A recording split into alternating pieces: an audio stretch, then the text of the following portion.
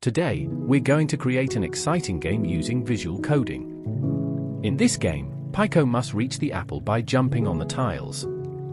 Use the arrow keys on the keyboard to move Pico right, left, and up.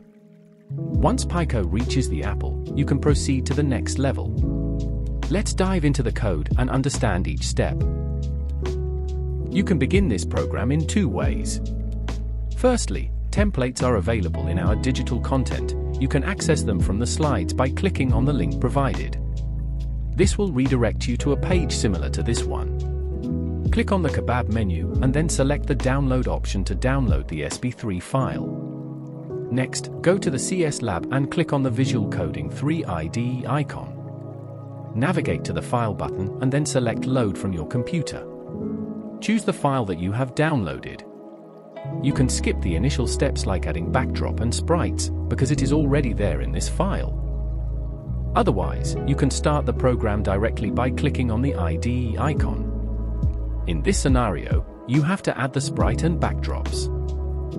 Start by deleting the default sprite using the delete button. Then, click on Choose a Sprite and select the sprite named Pico Walking. To introduce the next sprite, hover over the Choose a Sprite button and click on Paint. Utilize the square icon at the bottom to draw rectangles, and drag and drop them onto the drawing area. You can customize the color using the fill and outline options at the top. Since this sprite serves as the platform for Pico to walk on, ensure it's long enough to cover the entire width of the stage. Name this sprite as Ground. Now, let's add another sprite by clicking the Choose a Sprite button. This sprite acts as a hanging platform for Pico to reach the apple. Similarly to before, create two square shapes and adjust their positions accordingly. This sprite should have two costumes. Click on costume 1 on the left and choose the option to duplicate it by right-clicking. Edit the duplicated costume to create costume 2.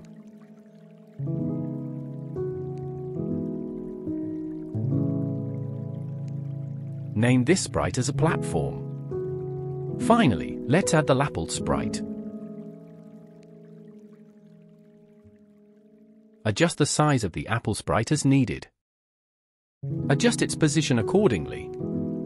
Create two costumes for the apple with two different positions by right-clicking and duplicating the costume. Align the positions of the apple's costume 1 with the platform's costume 1, and the apple's costume 2 with the platform's costume 2.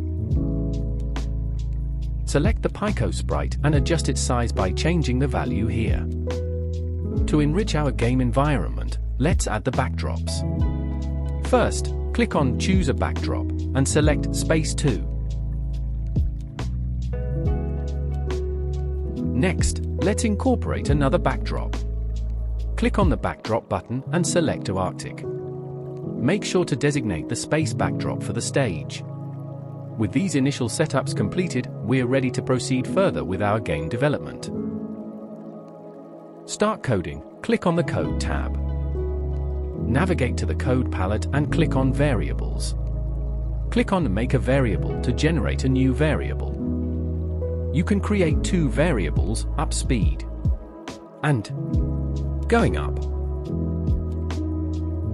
Up speed is the speed of jumping. Going up is a variable for getting the status of whether the sprite is jumping or not.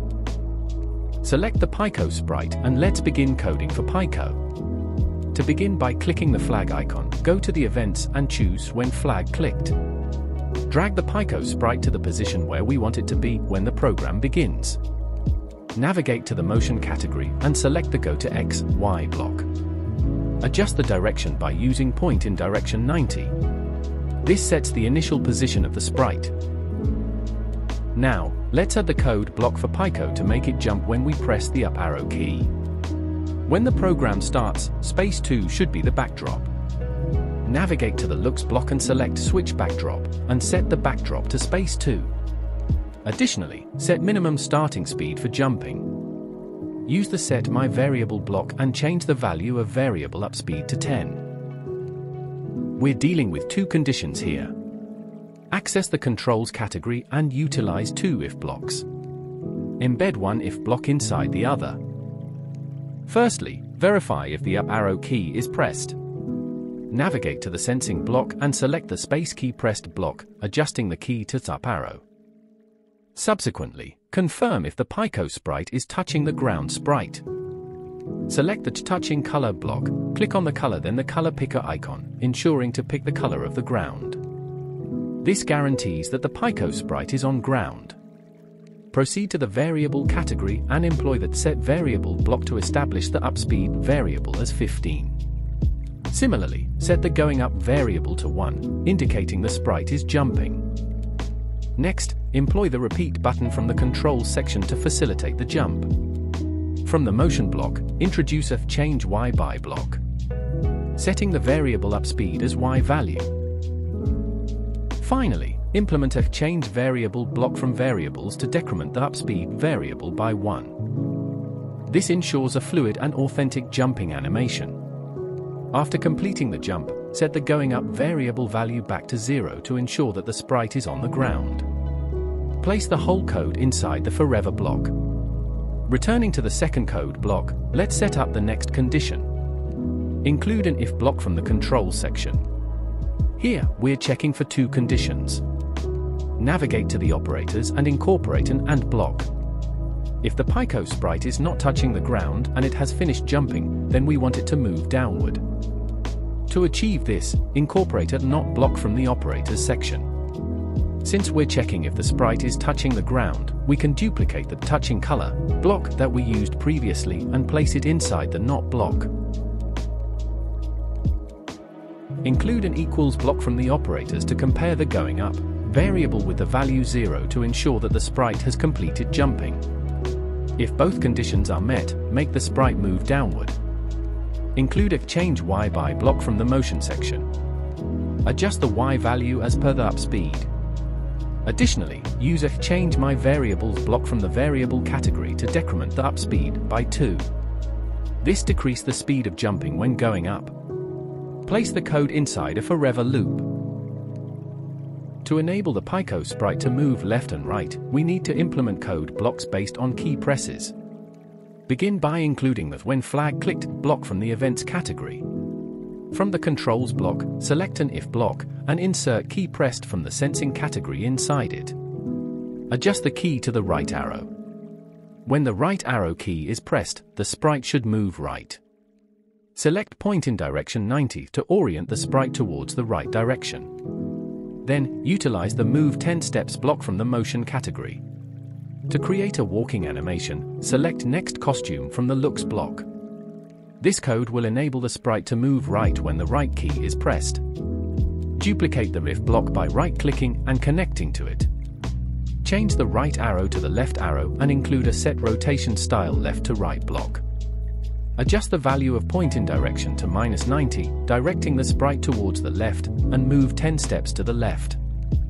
Use it forever, block from the control category and place the code blocks inside it to ensure continuous execution of the commands. Let's set up the code blocks for the platform sprite. Select the platform sprite and begin coding by using when flag clicked from the events category.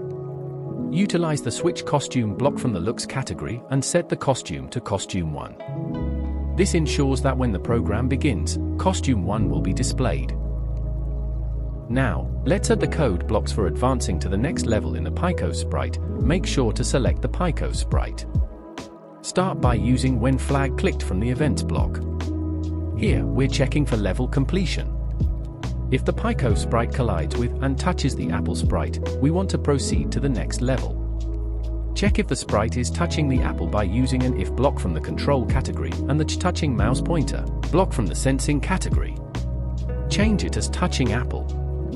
When the Pico sprite touches the apple, we want to broadcast a message to indicate that we have completed the current level. Use a broadcast block from the events category and create a new message named next level. Additionally, if the sprite is touching the apple, change the backdrop by using the switch backdrop block and setting it to the next backdrop. Place this code inside a forever loop to continuously monitor for level completion. For the upcoming level, modify the platform's appearance. Choose the platform sprite. Navigate to the events section and select when I receive broadcast next level. Then, in the Looks category, add the next costume block to switch to the second costume, indicating the progression of the game. Additionally, generate a new broadcast message named Set Start. This will signal the Pico sprite to prepare for the next level by initializing its position. Select the Apple sprite and follow the same procedure used for the platform sprite. When it receives next level broadcast and changes the costume accordingly, Move on to the Pico sprite and establish the next set of code blocks. Start with when I receive set start broadcast. Set the sprite's position using the go to X and Y block from the motion category, ensuring it's adjusted as required. Also, ensure the sprite faces right by using the point in direction 90th block. After completing these steps, run the program by clicking the flag icon. Press the right arrow to move right. Left arrow to move left and up arrow to jump. Save the project by clicking here and give it a proper name.